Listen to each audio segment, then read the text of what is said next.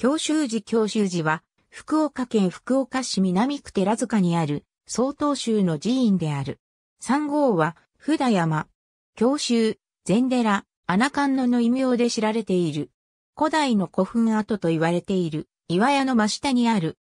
伝承によれば、福岡城を築城した時、黒田長政が岩屋の石を築城に用いようとしたところ、夢の中に観音菩薩が現れて、私の住んでいるところが壊されようとしている。直ちに工事を中止せよというお告げを受けた。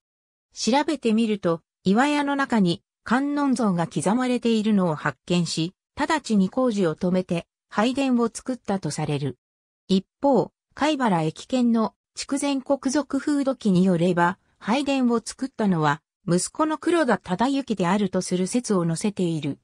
いずれにしても、福岡藩の歴代藩主の数形を受け、当時福岡城と岩屋の間に、万が一の時のための抜け穴があるとする風説もあったという。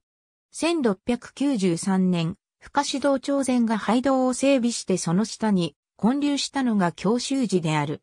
岩屋の観音は穴観音と称され、寺と赤道を結ぶ石橋の眺望が素晴らしいことから多くの参拝客があったという。